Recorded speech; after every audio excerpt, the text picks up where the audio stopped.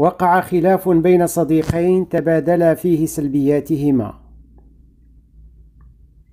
أعجبني ما نعت به كل واحد الآخر إذ تم بشكل حضاري خال من العنف.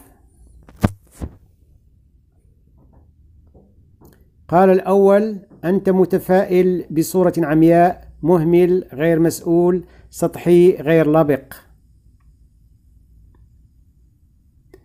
قال الثاني أما أنت فعنيد تقف ضد الأمور مشاكس ولا تعرف معنى العاطفة.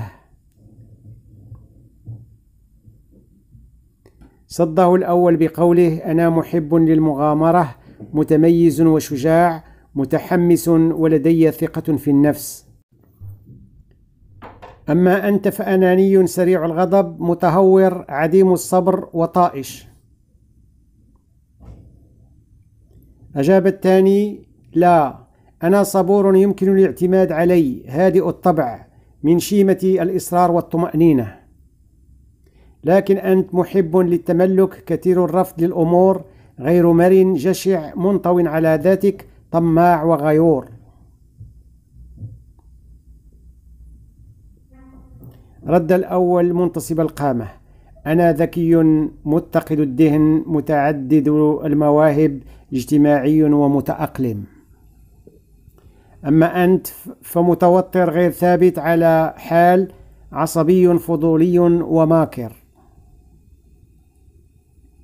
قال الثاني كلا ثم كلا. أنا عاطفي ومحب صاحب حدس وبديهة وأتوفر على خيال واسع. أما أنت فعنيد وذو انتقادات لاذعة مزاجي وسريع الغضب غير قادر على عدم إتعاب عقلك.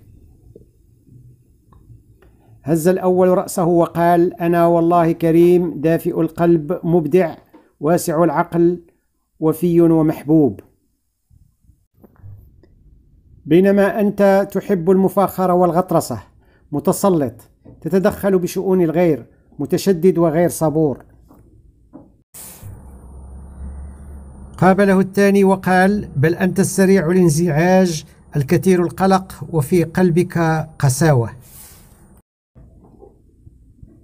أما أنا والله متواضع يمكن الاعتماد علي مجتهد نشيط أميل إلى التحليل والاستنباط.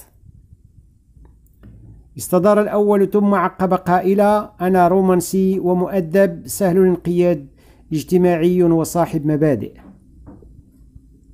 لكن أنت ساذج ومتمرد. تتأثر بسرعة منطو على نفسك وجامد الفكر. احتسى الثاني جرعة ماء ولوح بيده ثم نطق أنا صاحب عزيمة قوي ذو طاقة لا تقهر شخصيتي جذابة وأنا كتوم للأسرار. أما أنت فكثير الرفض تحب السيطرة وعنيد جدا. أشرف الأول على الانصراف إلا أنه عقب بقوله لا يا صديقي أنا رجل عملي عاقل وطموح صاحب روح مرحة حذر ومنضبط. بينما أنت متشائم بائس حاقد متمسك بالتقاليد أكثر من اللازم. وصل صديق بعد سفر طويل وبعد أن تصافحوا وتعانقوا أحس ببرودة بينهما. قال أخبراني عما جرى بصراحة.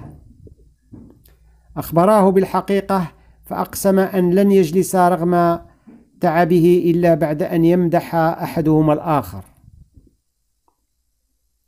قال الأول أنا المبتدئ. ما كنت لأهجيه إنما كنت أتدرب على الهجاء. أما الثاني فقال أما أنا فكنت أجرب نفسي هل أقدر على المواجهة؟